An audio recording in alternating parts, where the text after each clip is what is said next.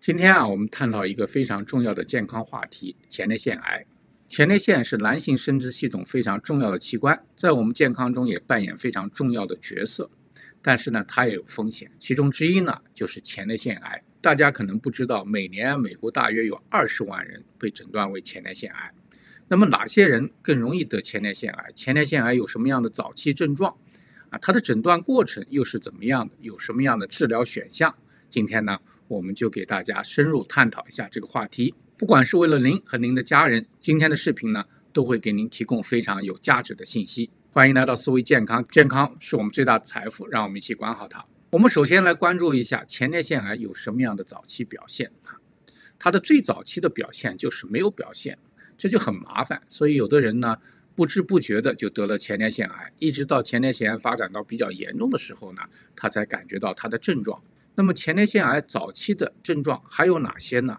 首先就是小便困难或者小便无力，另外呢就是小便的时候会有疼痛、烧灼感，啊，尿液和精液里面会有血丝啊或者血色。再严重的话，它可能会出现盆部啊、啊胯关节啊、腰啊的疼痛。当然了，它还会出现性功能方面的障碍。当出现这些症状的时候，你就要去看医生啊。虽然这些症状呢不一定都是前列腺癌。前列腺肿大、前列腺炎都会有这些症状，但是呢，你一定要去检查一下。那么医生会给你做什么样的检查呢？他首先会做一个肛指检查，看看前列腺有没有肿大、有没有硬结、有没有包块等等。除此之外呢，还会给你做个血液检查，查一下 PSA，也就是前列腺的一个特异性的抗原，它是一个特殊的蛋白质。前列腺癌的时候呢，在血液里面它会飙升，如果升得很快的话。那么前列腺癌的可能性就比较大，但是要说一下，纯粹的 PSI 升高并不能够作为前列腺癌的诊断标准，它一定要进一步的进行影像学检查，像 CT 啊、核磁共振啊，最重要的是要做一个活检，才能够确定它是不是前列腺癌。如果一旦确定是前列腺癌的话，那么下一步呢，就是看它的严重程度啊，这里面有个叫做格里森分级的啊，这个量表从二到十。这个分级啊，也主要是从它的扩散的严重程度啊来说的。这个癌细胞是局限于前列腺呢，啊，还是扩散到周围的器官、组织啊和淋巴系统等等？一旦确定严重程度的话，那么治疗方案呢也就相应的啊出来了。有的呢是在很早期发展的很慢啊，可以观察。